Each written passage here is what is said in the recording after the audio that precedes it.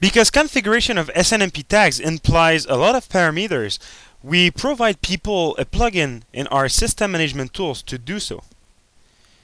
In the system management tools, you can find it under the points category. It is called the Pi SNMP Tag Configurator.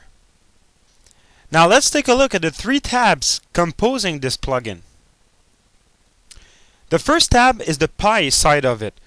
This is where we ask people for details on how to configure the tags, the point source, the interface ID number, the scan class to use to query SNMP agent, and some more details about the counters. Just like in the Performance Monitor plugin, you can see a list here where you choose the interface you want to use. When interfaces are configured in ICU, you will see them in the list and just the simple fact of choosing them will automatically set the, the point source, the location one, and will give you a nice list for the scan classes. When you don't have interfaces configured in ICU, you will have to set the point source, the interface ID number, as well as the scan class manually. Now remember when I talked to you about configuring the interface, I told you you can omit the community string, you can omit the password in the tags configuration. You could tell the interface to go and read the password in the password file. Now, when configuring tags, to tell the tags not to contain the password, you simply check that checkbox. Checking this assumes you have checked the option in ICU, so the interface right away knows that it has to go in the password file. I also told you you can regroup tags together.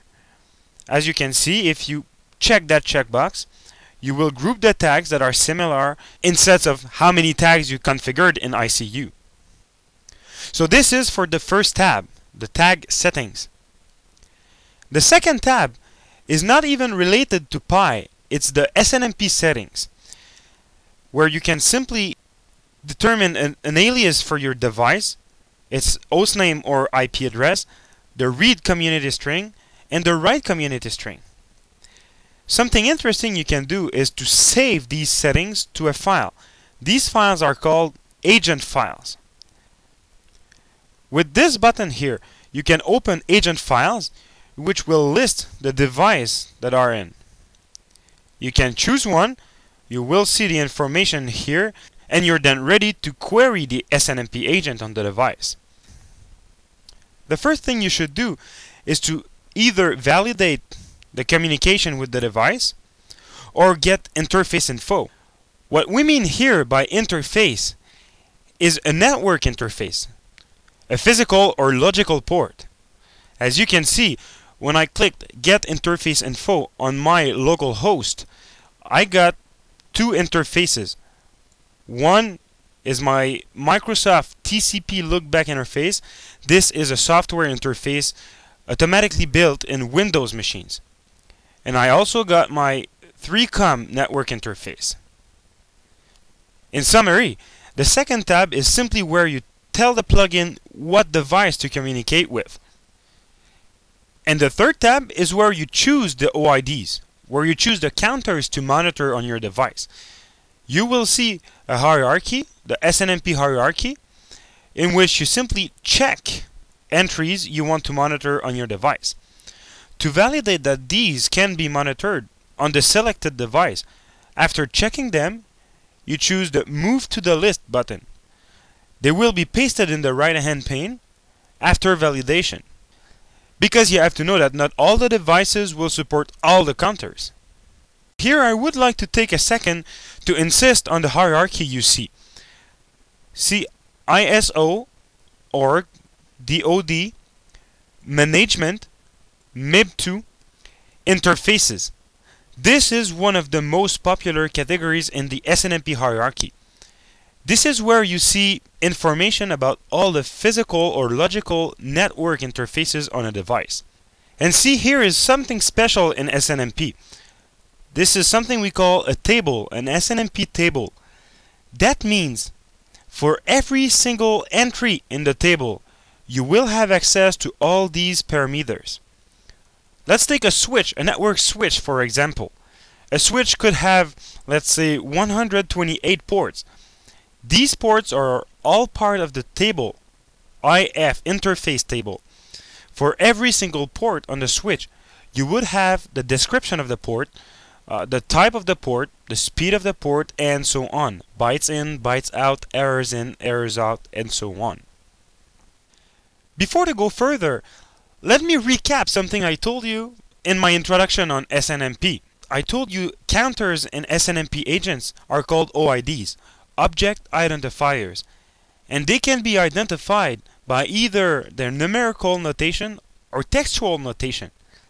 That means every single entry here in this hierarchy is in fact a number. Another concept I told you about is the MIB file, the Management Information Base, which is a text file built for aliasing purposes. This is the file associating text with numbers. So as you can see here, when you query the agent, you will query it for interfaces.ifTable.ifentry.ifdescr.3 for port number 3. But in fact, in the SNMP agent, you say something like 2.14.1. something else that's some other number. But this is all done by our plugin. Another interesting feature of our plugin is the templates. You can use templates just like in the plugin to configure performance monitor tags.